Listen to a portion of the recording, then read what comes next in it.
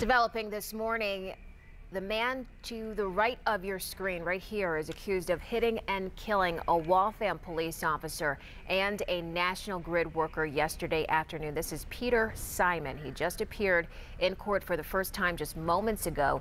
You can see he had several cuts and bruises on his face.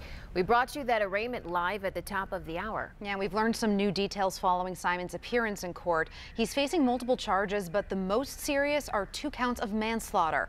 Prosecutors laid out the case saying Simon tried to do a U-turn and was hit by another car. He then fled the scene and eventually is accused of stealing a police cruiser before crashing again. He's now being held without bail and is due back in court in one week. There were dozens of police officers and National Grid workers in court for this arraignment. We saw what appeared to be the family of the second victim, Roderick Jackson. He's the National Grid worker who was part of a three-man crew that was working on a gas line at the time of the crash.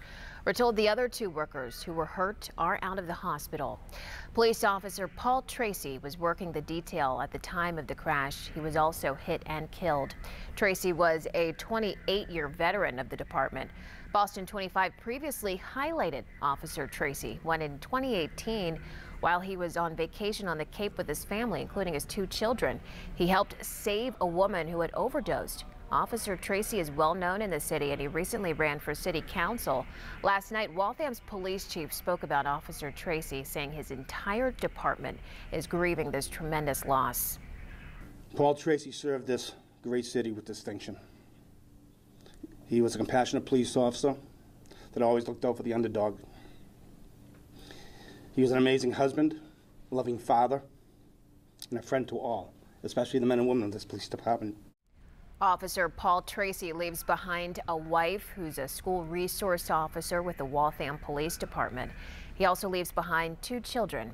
The chief asked the public to pray for the Tracey family and give them time to grieve. And we're learning more information now about the suspect in this case and his troubled past. Peter Simon was involved in a car crash back in 2009 where he was accused of driving into oncoming traffic and then refusing to pull over for police. His attorney at the time said he had a history of mental illness and might have been suffering from a severe panic attack at the time. A little more than a year later, he was found not guilty by reason of insanity and he was committed at that time. Four years later, he was released from his sentence. Now, we are staying on top of this developing story in the hours and days to come. If you are away from your TV, you can get breaking news alerts sent right to your phone from our Boston 25 News app.